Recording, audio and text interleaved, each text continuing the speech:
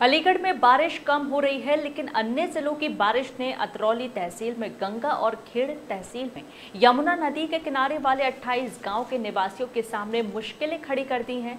इन दोनों नदियों में बढ़ते जल स्तर की वजह से जिला प्रशासन सतर्क नज़र आ रहा है।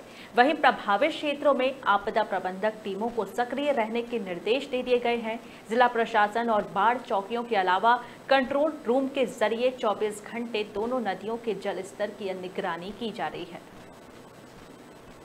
हमारे यहाँ जो बाढ़ प्रभावित क्षेत्र है, वो अतरौली क्षेत्र है, गंगा नदी में, और वहाँ लगभग हमारे 16 गाँव प्रभावित होते आए थे।